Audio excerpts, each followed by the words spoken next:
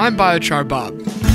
I travel around the world to meet and tell the stories of people who use biochar They're using the stove right now, so let's check it out. to help their gardens and crops grow, So I just picked up one of these cacao plants and you can improve see soils, clean their drinking water, and help the world fight the effects of global warming. Follow me as I crisscross Costa Rica in a terribly suited rental vehicle, insurance. accidentally eat worms, yep. and meet local farmers, researchers, artisans, and agriculturists, and even some animals You like biochar? who use biochar in their everyday lives. So we're in Turrialba, Costa Rica at the CATIE Institute, uh, which is where a bunch of uh, Central American and South American countries come together to push forward agriculture and agroforestry. And uh, we're here with uh, Lorena and Jorge to learn about uh, how biochar is affecting banana plantations and disease resistance, as well as how uh, the stoves are affecting the everyday lives of, uh, of the people who live in Costa Rica. Jorge's research focuses on how biochar can help banana plants grow strong and be more resistant to diseases like fusarium. He compared how different biochars from different original materials combined with microorganisms compared to the traditional chemical fertilizer application.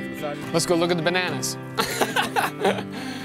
Jorge intentionally inoculated banana plants with fusarium in an outdoor greenhouse laboratory and is studying how different soil treatments affect the plant's resistance to the fungus. eh, todos los tratamientos, considerando el peor que empieza por este lado y el mejor que culmina al, al finalizar el invernadero. Sí. Entonces, aquí lo que podemos concluir es que después del testigo, todos los tratamientos con biocarbón favorecieron la altura.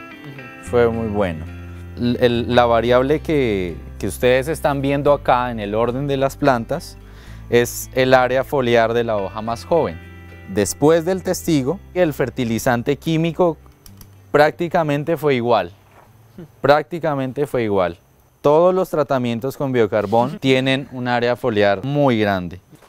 This is the best treatment. It's sugar cane Yeah. mixed with the same indigenous microorganisms, and all plants are alive and have very cool thickness, very cool, very good um, color, vigorosity, and all of these plants have the fusarium disease. And you can see the plants are beautiful. So what we saw was that as soon as we add biochar, the plants start growing better. Whether it's number of leaves, whether it's thickness of the stem, whether it's the area of the leaves. Um, what was different was the different microorganisms that you added and the different types of biochar. But as soon as you, as soon as biochar touched the soil, we saw positive results. Biochar just beat it all. the people who are using chemical fertilizer are losing uh, money are very similar to testigo. So in uh, in bad soil like uh, the people uh, needs the biochar because están produciéndolo en su finca. It's free it's gratis. So, eh, the, los resultados the results are very good. Fantastic. Thank Thank you. very much for showing this to me. I appreciate it. Lorena offered to show us around the CATIE property, Oh, how do I eat it? and we tried about a hundred different fruits. Whoa, it's blue. Oh my gosh. Did I just? Yep. Okay, that's enough. I just ate some worms.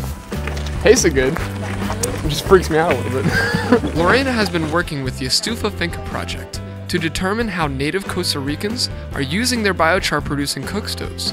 The Estufa Finca conserves fuel and produces less harmful smoke. Why weren't more people using it all the time? Lorena looked into it. Very interesting. You have to see, be observing something that's uh, a barrier that, that people have to cross to adopt this.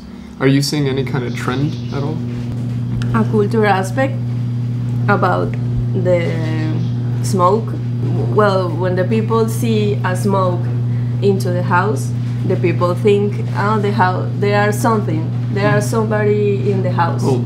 So that's the life, o sea, um, the house it's living Right. because there are people living there. Mm-hmm. Some people think that that might make them sad. Hmm. Interesting. To them, that was the vibrance, the life of their mm-hmm. house. Lorena also found that the smoke from more traditional stoves serves a functional purpose. In thatch roof houses, having smoke in the house will deter bugs from eating the roof, which causes it to deteriorate more quickly. Because when you're in a lab, right, you say this soil, this mm-hmm. rain, this plant, and then you go, okay, here you go, people. and they're like, oh, but the smoke makes my thatches and this and this, and it mm-hmm. just gets so complicated. Mm-hmm. But if you can make that work, it creates a beautiful system. Yeah. Who, who uses the stoves the most? The families from three or five persons. Mm-hmm. The people who live far away, mm-hmm. ellos no están olvidados, pero están, ¿cómo se dice? Mm, they're far from town, so they can't get the fuel very easily.